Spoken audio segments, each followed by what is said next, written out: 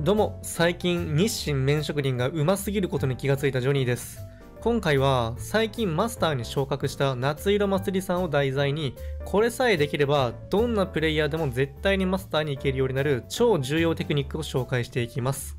まずマスターになる方法っていうのは、ソロでやる、パーティーを組んでやるの2つがあります。ではまずソロの場合、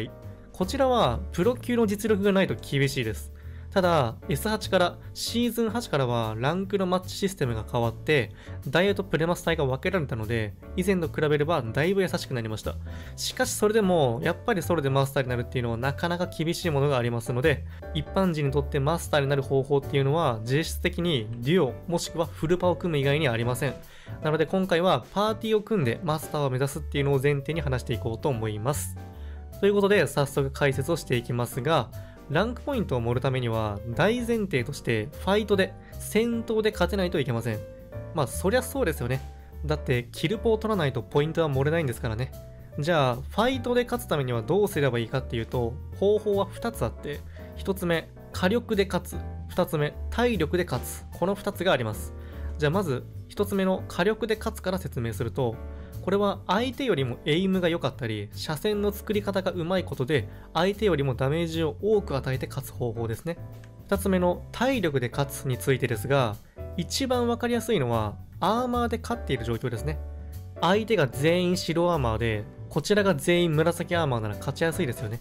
といったように、火力で勝つ、体力で勝つの2つに分けて、ファイトで勝つ方法を説明したわけですが、実は1つ目の火力で勝つっていうのと、2つ目の体力で勝つ、この両方を実現できる超強力な戦略があります。それが何かっていうと、人数有利を作ることです。人数有利を作れば、こちらの人数が多い分、火力も大きくなりますし、体力も多くなるわけなので、圧倒的に有利ですよね。なので、ファイトで勝つために最も重要なことは、いかに人数有利を作るかが鍵になります。そしてそのために必要不可欠なのは、チームの連携力です。チームの連携が取れていないと、人数有利を作れるチャンスがあっても活かせません。じゃあ、チームの連携力を上げるにはどうすればいいのかっていうと、これはものすごく簡単で、やることはただ一つ。声を出すです。声出し。これがめちゃくちゃ大事。そしてこの声出しが本当にうまいなと思う人がいて、それが今回の動画のサムネとタイトルにもある夏色祭りさんです。今回ね、なんで祭りさんをピックアップしたかっていうと、祭りさんを真似すれば誰でもマスターに行けるからです。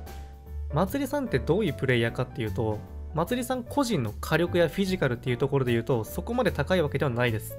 大衛隊に普通にいるレベルだと思います。なんですが、とにかく声出しがすごく上手くて、この人が1人いるだけでチームの連携がマジで安定します。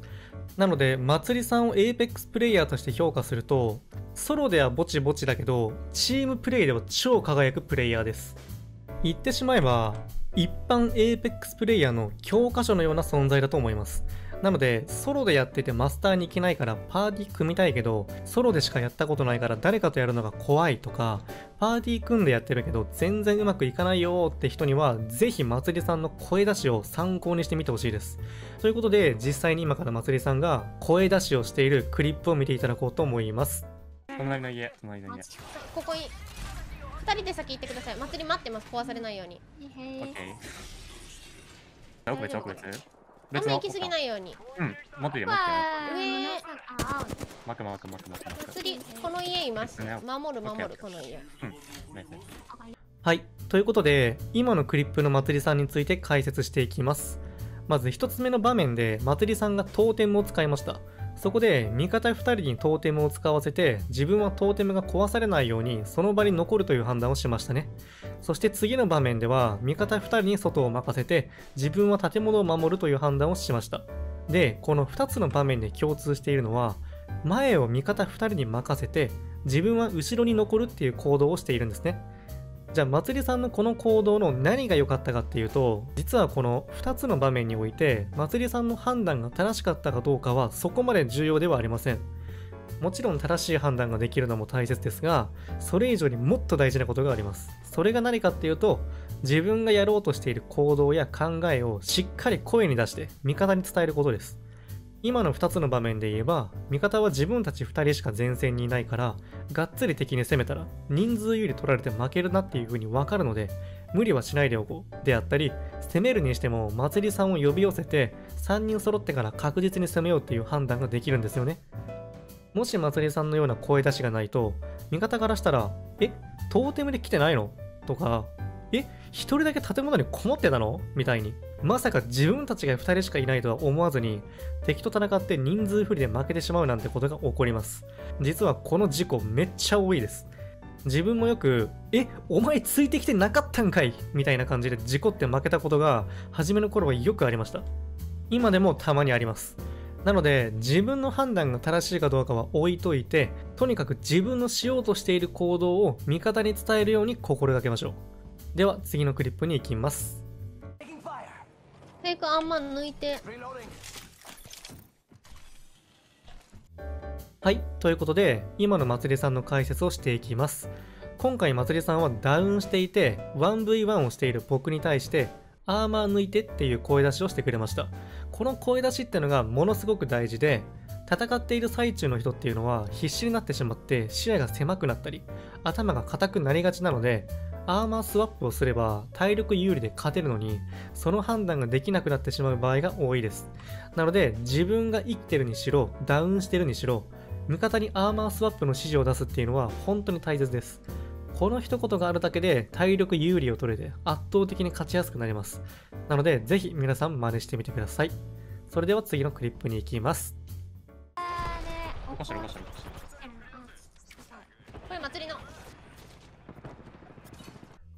はい、ということで今の祭りさんを解説していきます。今回の場面で言うと、味方の幸男さんが敵がいる建物に攻め込もうとしているところにグレを投げて、これ私のグレって声を出しているんですね。実はこのグレの声出し、できてる人がマジで少ないです。マスターやプレデターの人にも何も言わずにグレを投げる人がたくさんいます。自分もたまに言い忘れることがありますね。で、なんでこの声出しが大事かっていうと、グレを入れるってことは、その間敵は顔を出してこれないんですよね。つまりその間は打ち返される心配がないから安全に敵のところまで詰めるチャンスになるわけです。なので前もって今からグレ投げるよって声をかけることによってタイミングを合わせて最大限攻撃のチャンスにつなげられるようになるんですね。そしてすでに味方が敵と接敵していてそこにグレをぶち込むパターン。今回の祭りさんがそのケースですね。そういう場面で今回みたいに自分のグレですっていうのもめちゃくちゃ大事。インファイトをしている時って特に建物の中だと視野が狭いので敵のグレか味方のグレかとっさに判断できないことが多いです。せっかくグレを入れて敵がその場から引く、つまり背中を向けて逃げるわけですから、攻撃をする大チャンスになるわけです。あるいは強ポジから引いてくれればそこを奪うチャンスにもなります。もし相手にグレのダメージが入れば体力有利で勝てますし、グレの爆発音に紛れて気づかれずに安全に敵に仕掛けることもできます。しかし、味方のグレなのに敵のグレと勘違いして自分もその場から一瞬逃げてしまうことによって大切な攻めるチャンスを不意にしてしまうことって本当にもったいないしよくあることなのでグレを投げる前と投げた時はしっかり声出しをするようにしてあげましょうでは次が最後のクリップになりますちょ右しばきいきまーす。いいチャンス。バッテ巻いてから行きます。10入った紫1人いる。ごめん10しか入らなかった。10あれぐらいナイス。はいということで最後のクリップのまつりさんを解説していきます。今回は回復してから行く。10ダメしか入れてないの2つの声出しに着目します。実はこの2つの声出しはどちらも超重要です。まず1つ目の回復してから行くっていうのは僕の突っ込みますっていう発言に対して言われたものですが、もしまつりさんの声出しがなかったら、僕は味方2人もすぐについてきてくれるだろうっていう思い込みを前提に行動してしまう恐れがあります。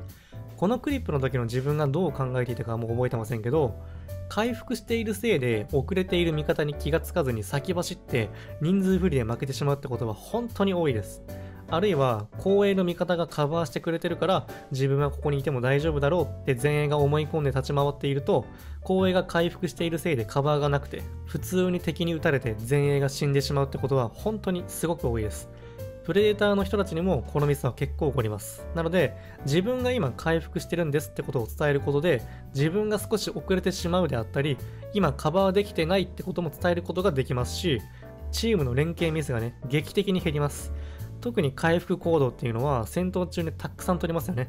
バッテリーなら話も、セルで全回復しようとしてたり、フェニキを巻いてたらめちゃくちゃ遅れてしまうので、絶対に味方に回復中であることは伝えるようにしましょう。そして次、10ダメしか入れてないっていう報告ですが、例えば前衛の気持ちになった時に目の前の敵を味方が撃ってくれているからおそらく体力が削れているだろう。だから今こいつと1対1をすれば体力有利で勝てるはずと思って仕掛けに行ったら全然削れてなくて普通の1対1になってしまって打ち負けてしまうっていう事故も結構あります。特に前衛の人は一番敵に近くて集中していますし瞬時の判断力が求められるのでいちいち味方にどれくらい削ったか確認せずに見切り発射をしてしまうことが多いですなのでもし自分が敵を攻撃した時にダメージを全然入れることができなかった場合はしっかりそれを報告するようにしましょうはいということで一般プレイヤーの教科書夏色祭りさんを参考にした解説は以上になりますこの祭りさんという方はね、どんな人とパーティーを組んでも一番声を出すんですよね。本当に。味方がプロゲーマーでも、プレデターでもお構いなしに、どんどん自分から声を出して、オーダーを出すわけです。こんなことね、本当になかなかできることじゃない。だって、自分よりも上手い人に自分の意見を出すのって普通怖かったり遠慮したりしませんか？それをね、どんどん自分から声を出していけるのはね、なかなかできることじゃない。中にはね、まつりさんがキャリーマスターだなんていうたわごとを言うボケなすどももちょいちょいおれますけども、じゃああなたたちはプロやプレデターの味方に対してどんどん自分から声出しやオーダーを出せますかと言いたいですね。はい。ということで今回の動画は以上になります。ためになったよって方はぜひチャンネル登録と高評価をよろしくお願いします。それじゃ、またねバイバーイ。